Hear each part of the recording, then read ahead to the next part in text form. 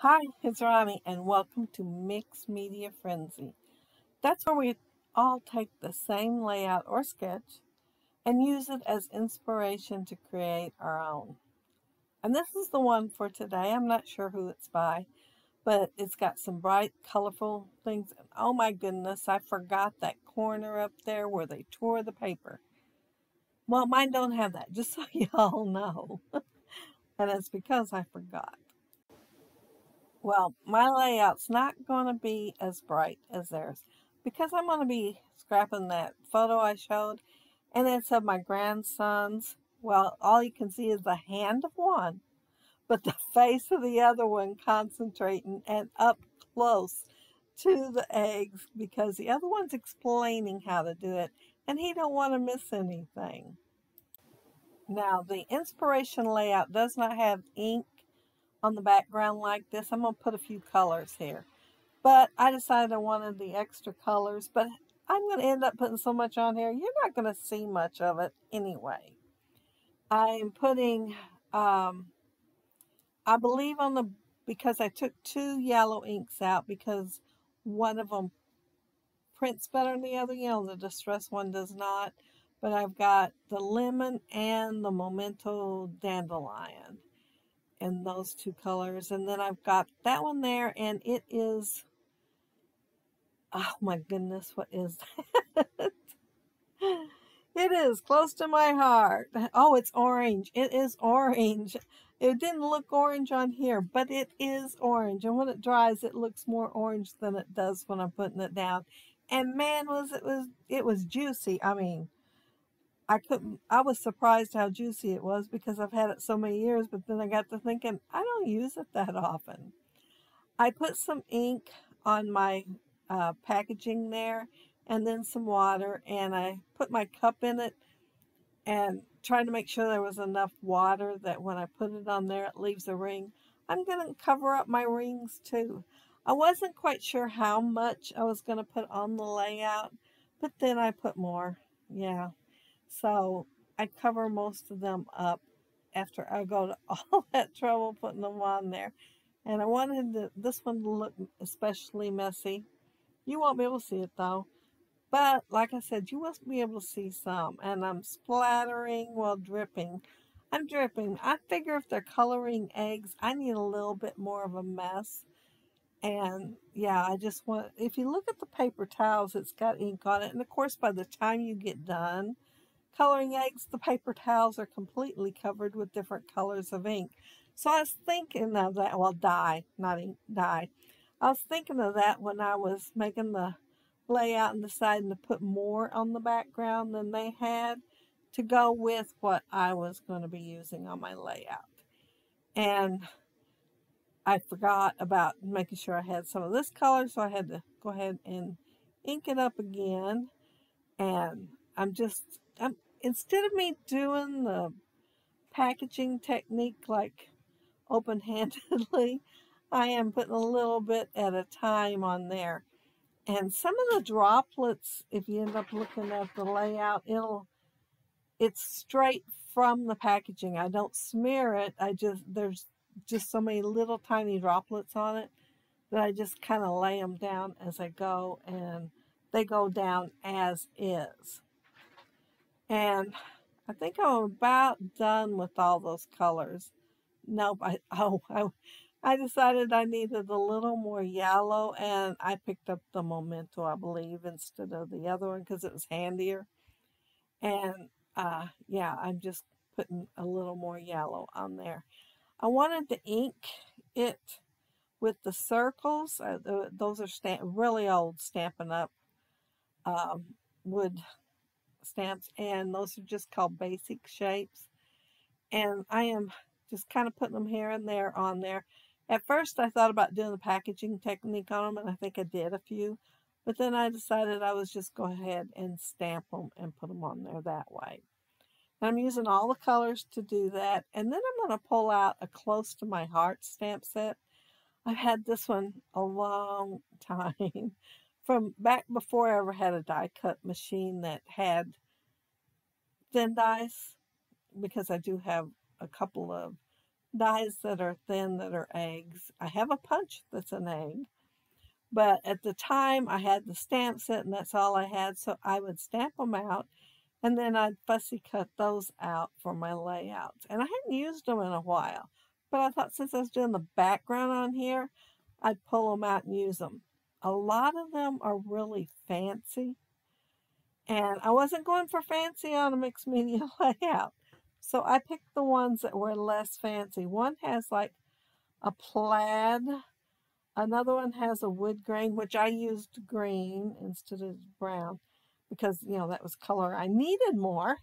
And one has uh, little speckles.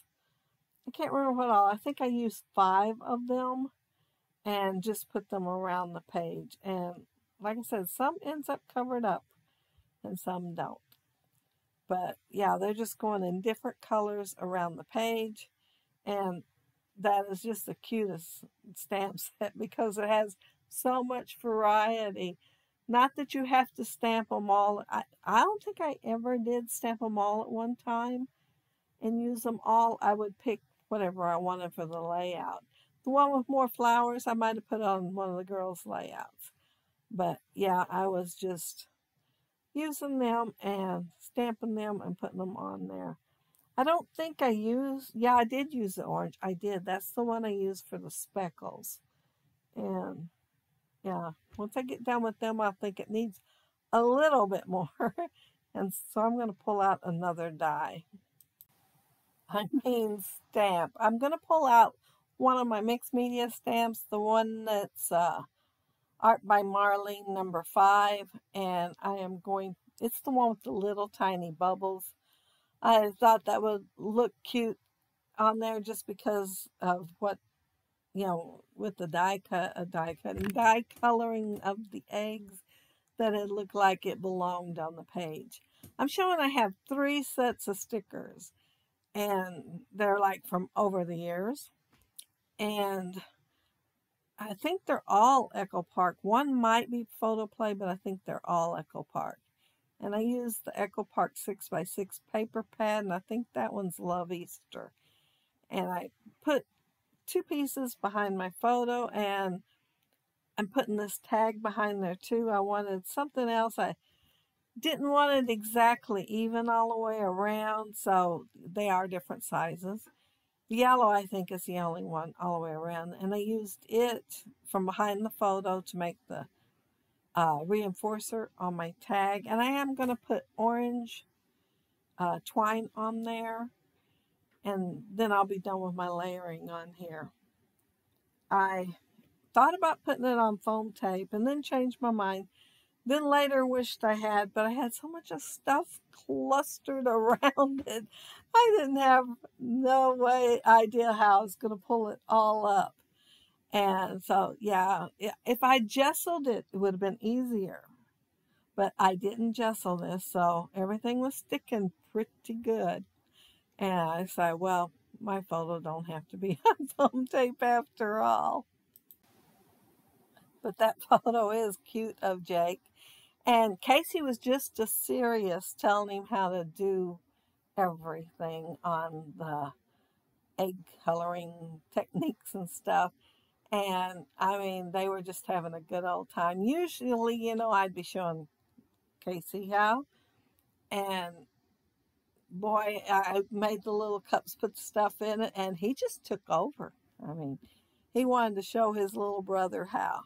I decided I needed one of those things that you pick the eggs up with. Now, this may not exactly look like one, but I think a person could get the idea by looking at it. I use my Creative Memories hexagon punch, and I punched the smaller one first, then the larger, so I'd have a ring. And the bottom part, you know, a lot of times the ring down there is as big as the other part. But I decided to make it smaller, kind of like a bubble wand.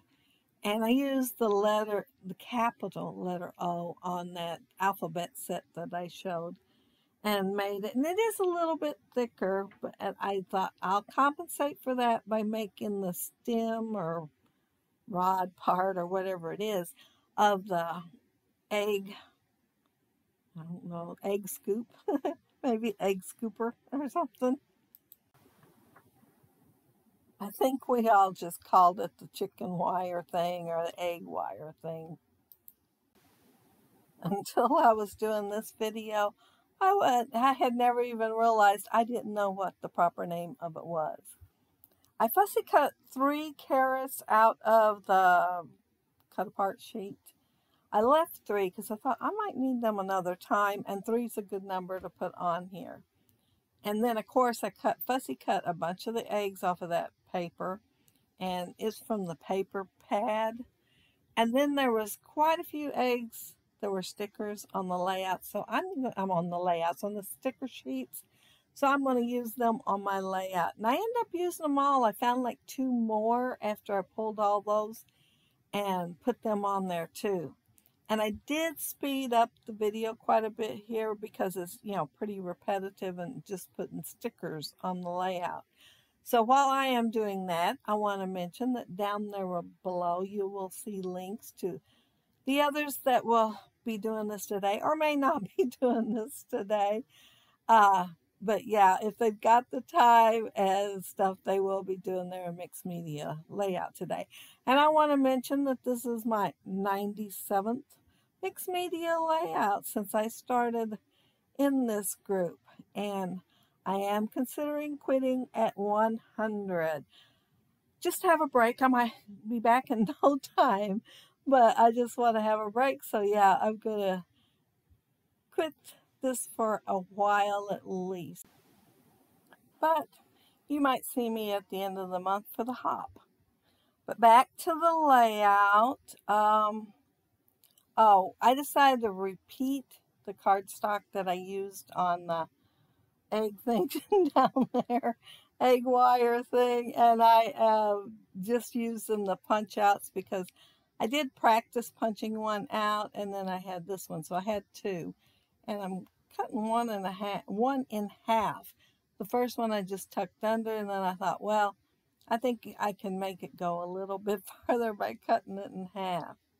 But yeah, that's it. That's my layout. And my Easter, my Easter, my title is Easter Eggs to Die For. And I tore that Easter when I went and took it off, so I kind of patch it back together when I put it on the layout. It was pretty thin and delicate. But if you leave a comment down there below, I'll try to get back with you. And if you like the video and hit a thumbs up, I'd appreciate it. And if you are not subscribed to my channel, I would love to have you subscribe. And those of you already are, thank you so much. But, uh, yeah, that's it. That's my layout. And uh, I hope you all have a happy, scrappy week. Take care and stay safe. Find some time to do some mixed media and get a little messy on your layouts. Bye.